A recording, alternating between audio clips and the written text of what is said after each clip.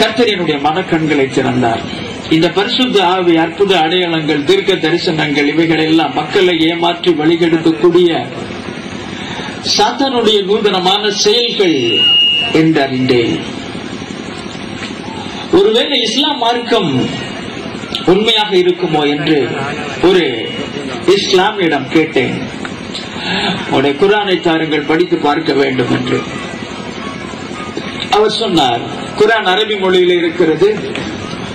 பிறர் தொடுவதை நாங்கள் அனுமதிக்க மாட்டோம். என்று அந்த முஸ்லிம் சொன்னார்கள். அவர் அவ்வளவுதான் இஸ்லாத்தை அறிந்திருக்கிறார். கொஞ்ச நாட்கள் இறை நம்பிக்கை அற்றவனாகத்தான் இருந்தேன். இறை நம்பிக்கை அற்றவனாகத்தான் இருந்தேன். அதன் பிற்பாடுதான் குரான் தமிழில் இருப்பதை அறிந்து அதை வாட்டி படித்தேன். குரானை படித்த உடனே இதுதான் தெளிவான குழப்பமில்லாத இறைவனுடைய வேதம் என்று அறிந்தேன்.